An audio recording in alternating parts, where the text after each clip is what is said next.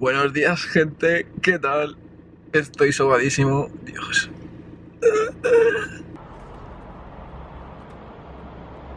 Hoy estoy en un sitio diferente. Faltan árboles por aquí, ¿verdad? Pues voy a dar una conferencia al de Caldón a los empleados para motivarles a contarles un poco lo que hago sobre supervivencia. Así que a ver qué tal. Esperemos que, que no se aburran mucho. Vale, buenos días. Ah. Practicar técnicas de supervivencia es terapia para apreciar las grandes cosas de la vida. Lastimosamente a veces no nos damos cuenta que vivir también es sobrevivir. Porque la supervivencia de un superviviente, de un superviviente depende de la voluntad de sobrevivir. Quiero que le demos un aplauso y con esto presento a Adrián. Buenos días, ¿qué tal?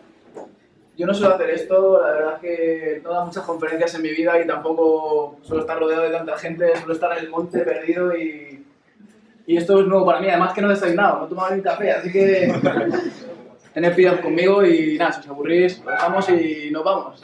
Eh, me llamo Adrián de la Cruz, tengo 26 años y soy un chaval normal como vosotros, que me gusta disfrutar de la naturaleza, lo que pasa es que lo hago de una forma un poco diferente. Empecé haciendo senderismo, eh, em, actividades normales como todo el mundo, rappel, escalada, buceo, bueno, fui probando un poco de todo porque a mí me gustaba disfrutar de la naturaleza, lo que pasa que no, no encontraba algo que, que, fuera lo que yo quería, ¿no? Me gustaba una manera un poco más cercana de estar en, en el medio. Me parecía que cuando hacía senderismo, bueno, que era un visitante y me iba y, y no me sentía realizado del todo, ¿no? Eh, como muchos de vosotros me imagino, no, no había visto nunca nada de esto. Bueno, no existía ni Bear Grylls, ¿no? El último superviviente en la tele. Y lo que más me llamó la atención del libro fue eh, que se podía hacer fuego con un preservativo. El libro te decía que llevaras cinturón encima. Yo ya lo llevaba porque tenía 16 años. Como guante, eh, ya que es estéril, es un material estéril, por lo tanto puedes tratar heridas. Eh, como cuerda, como, bueno, un montón de cosas. Este fue uno de los primeros refugios que hice. Ahí pasé la noche, estaba solo. Y bueno, hace unos años, cuando las fotos que viste de cuando hacía senderismo, como todo el mundo, para mí pasar una noche solo, metido ahí en, en, entre ramas y sin tienda de campaña y sin nadie, en mitad del monte, yo pensaba que eso era una cosa que no iba a hacer jamás, ¿no? Qué miedo, cuántos peligros. Pero me di cuenta de que era una tontería, de que no hay peligro. Eh, bueno, hay peligros, ¿no? Hay que conocerlos, pero que estar solo no es el peligro. Eh, si, si, tienes una serie de medidas de seguridad, que es importante, porque más que supervivencia, antes hay que prevenir esa situación. Y la verdad fue una experiencia increíble la sensación de estar solo, eh, los ruidos que se escuchan al, al, no, al no llamar la atención porque estás como escondido ahí, es increíble. Y cuando aprendes un poco lo que es la soledad y, y te gusta, es una sensación... Aprendí sobre muchos temas, sobre plantas medicinales, sigo aprendiendo y sobre diversos temas. Me, me interesaba todo. Me interesaba el rastreo, las plantas medicinales, eh, todo lo que tiene que ver con cuerdas, con nudos, primeros auxilios. Es que todo esto es, es muy extenso hay muchos conocimientos ahí que ya digo, lo tenían nuestros abuelos, lo tenía la gente de pueblo, la gente de campo, y los que vivimos en la ciudad los estamos perdiendo. Y muchas cosas no tenemos ni idea del mundo en el que vivimos. Solo sabemos de, de Facebook, de smartphone y de cosas así. Y es interesante conocer todo esto, la verdad.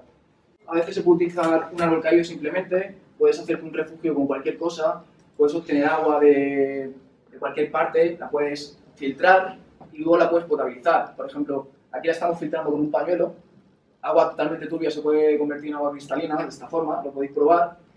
Y, y luego habría que hervirla para eliminar eh, los patógenos. Esto es eh, la forma en la que se hace fuego por fricción con, con, madera. Es difícil porque tienes que utilizar una madera muy específica, porque tiene que estar seca. Ya os digo, muchas veces es mejor llevar algo. Esto, por ejemplo, es un hornillo que ahora os enseñaré cómo se hace de fuego, que lo llevas, tienes fuego, tienes luz, tienes comida, no tienes que hacer no tienes que hacer nada, o sea, no tienes que hacer una hoguera. Eh, entonces, para seguir aprendiendo, como decía antes, lo que hice fue viajar.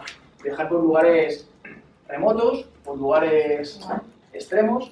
La verdad es que viajar, ya sabéis, es una cosa increíble, pero si encima lo haces de esta manera, con mi pasión, ¿no? Cada uno tiene su pasión, si es fotografía, si es ver museos, lo que sea, pues yo lo, lo adapté a, esta forma. Entonces aprendí del ambiente, también aprendí de la gente de estos lugares. Aquí, por ejemplo, estaba con los bereberes, que viajé con ellos, aprendí mucho. Eh, en, en Noruega, por ejemplo, estaba un español, pero él vivía ahí y me enseñó la hostia. O sea, increíble cómo, cómo te deshidratas, además no meas, porque tu cuerpo retiene todo el líquido, aparte, además, aunque estés bebiendo 6 litros, no meas. Y me di cuenta de que tienes que ir vestido hasta arriba. Es ropa muy fina, muy ligera, ropa de algodón, pero eso hace que tu sudor lo retenga más tiempo. Entonces la prenda queda mojada y te refrigeras por más tiempo.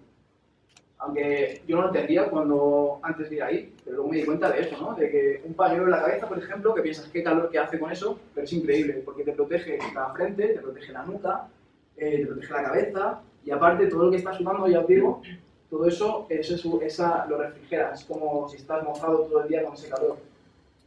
Y bueno, también me lo pasé bien, también, también disfruto en estos viajes, yo creo que es importante, porque en el desierto, aunque no parezca, hay bastante agua. Eh, sobre todo subterránea, en pozos, pero lo, lo malo es que no están cartografiados, solo lo conoce la gente de allí. Y también hay algún sitio en el que puedes encontrar agua natural. Y esto era en mayo, que hacía un calor de casi 45 grados, llegaba. Eh, por ejemplo, había unas arañas así de grandes y nosotros dormíamos en el suelo. Había chacales, veíamos huellas de chacales que son tan grandes como, como los lobos casi. Viajé solo, era la primera vez que viajaba solo por, por América y me flipó. Viajé con todo terreno, donde veis que iba por la selva con el machete. Iba por ahí descubriendo, me iba quedando donde podía, iba conociendo gente, iba haciendo fotos a los animales. Eh... y esto fue bestial. La verdad que aquí lo que me di cuenta es, sobre todo, la gente increíble, aprendí de los indígenas mucho, conviví con ellos, sobre todo a nivel personal. Más que aprender cómo hacer esto, cómo cortar esto, aprendí sobre con qué poco viven y, y lo felices que son. En mitad del río estaba yo y yo veía los troncos por aquí, por los bordes y, y yo pensaba, madre mía, seguro que ellos me están viendo a mí y yo a ellos no. y era tan gilipollas que no me di cuenta que eso era la huella de un jaguar, era la huella de una ganta. Llegué todo emocionado al pueblo, hostia, ¿qué por ahí? Yo creo que hay un jaguar que me estaba viendo, que he escuchado no sé qué. No había escuchado nada, era mi imaginación. Era un ambiente totalmente distinto. Estaba acostumbrado a ir por el monte, por España, y llegar aquí. Es una especie de cerdo grande, como una vaca, que come hierba, o sea que no me iba, no había perdido. Y la fauna, pues eso, una pasada. Nada que ver con esto, nada que ver con más por aquí, como mucho ves un conejo y ya te emocionas. ¡Hostia, un conejo!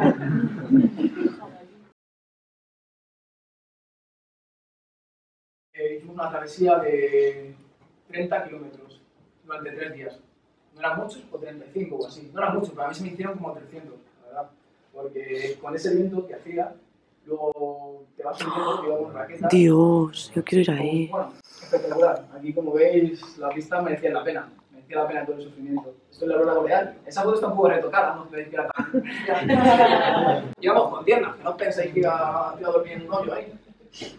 Porque, como os digo antes, esto de la supervivencia está muy bien, pero hay que prevenir. Yo no iba a hacer el capullo ahí, yo iba, íbamos con tiendas de campaña, íbamos con teléfonos satélites.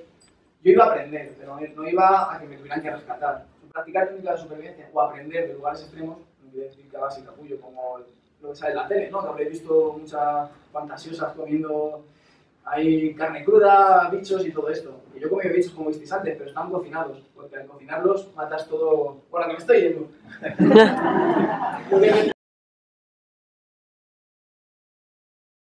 eh, toda la información que aprendía para recopilarlo todo en una página de Facebook y después me abrí un canal de YouTube y entonces eh, aquí empecé a, a grabar todos los vídeos que todas las aventuras que yo hacía o rollo tutoriales, ¿no? como hay chicas que te enseñan aquí en YouTube cómo hacerte un rizo de no sé qué o cómo tal, o los chavales que te enseñan cómo jugar a los videojuegos, pues yo me grababa y enseñaba un poco lo que hacía, ¿no? un poco el salvaje. Sobre todo también orienté mucho a consejos sobre senderismo, sobre prevención, pues, cosas un poco básicas de que llevar una, mochila. Y os animo a que encontréis algo que os gusta tanto como a mí como esto y espero que os haya motivado, que os haya dado alguna idea para hacer alguna salida. Y bueno, que nada más, gracias.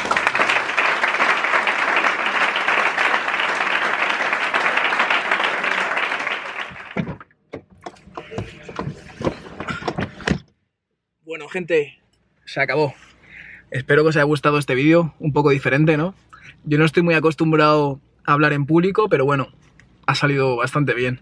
Hasta el próximo vídeo y a cuidarse. Un saludo.